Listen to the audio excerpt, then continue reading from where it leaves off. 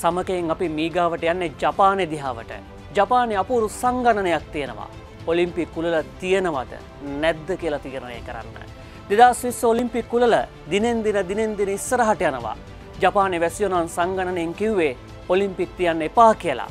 හැබැයි තාම සංවිධායකව තීරණය කරලා නෑ දෙදස් විස්සේ ඔලිම්පික් කුලල ජපානය තුළේ තියෙනවද නැද්ද කියලා.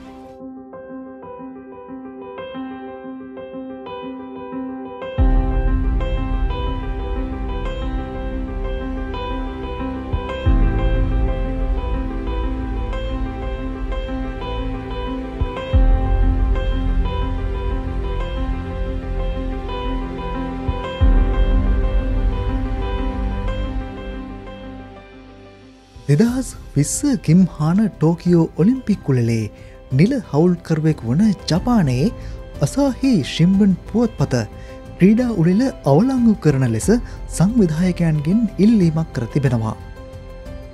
කොවිඩ් වසංගතයෙන් මහජන ආරක්ෂාවට හා වෛත්‍ය පද්ධතියට ඇතිවිය හැකි බලපෑම් පෙන්වා දෙනුවේ ඔවුන් මෙම ඉල්ලීම කරතිබෙන්නේ.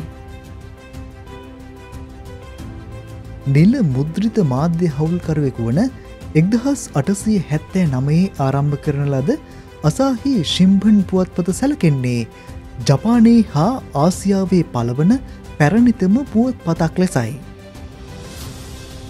පසුගිය වසරේ සිට විදේශකයන් සඳහා වසාදමා ඇති සහ එන්නත් ලබා ගැනීම සෙමෙන් සිදුකර ඇති රටකට දස දහස් ගණනක් ක්‍රීඩක ක්‍රේඩිකාවන් සහ නිලධාරීන් පැමිණීම ගැන බලධහරයෙන් වඩාත් සැලකිලිමත්වය යුතු බවයි ඔවුන් එහිදී වැඩිදුරටත් පෙන්වාදී තිබෙන්නේ.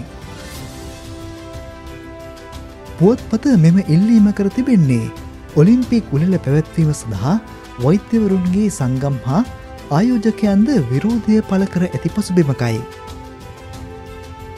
කෙසේ වෙතත් ජපාන ඔලිම්පික් කමිටුව පසුගියදා තීරණය කර ඇත්තේ එරට ජාතික එන්නත් සැපයුමෙන් ක්‍රීඩා උලලට සහභාගී වන ක්‍රීඩක ක්‍රීඩිකාවන් සහ පුහුණුකරුවන් ඇතුළු එක්දහස් හයසයකට ෆයිස එන්නද ලබාදීමටයි.